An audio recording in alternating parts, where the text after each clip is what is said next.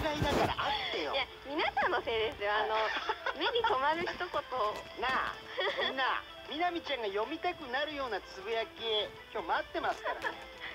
ひどい人になっちゃ最初に本当読まれてもう伝説のお兄とね称えますからぜひちょっとこのつぶやきもさみなみちゃんが読んでくれるようなつぶやきで盛り上げていきたいとお思います。今日はいっぱいツイッターチェックします。ね、よろしくお願いします、はい。さあじゃあ、えー今日はね僕とみなみちゃんでい。2人でお送りしていきたいと思います、それでは今夜のメニュー参りましょう。8時台9時台は坂口珠美ちゃんが登場。9時台10時台は和田真彩ちゃんが登場します8時台は「私のうちわ見つけた」ではライブのうちわに書かれた驚り驚きの一言を紹介します。大丈夫だね。はい大丈夫です。9時台は勘違いする女。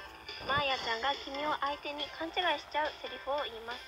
10時台は幸せの保護色対決、はい。私とマーヤちゃんが何気ない日常の中にある幸せを見つけます。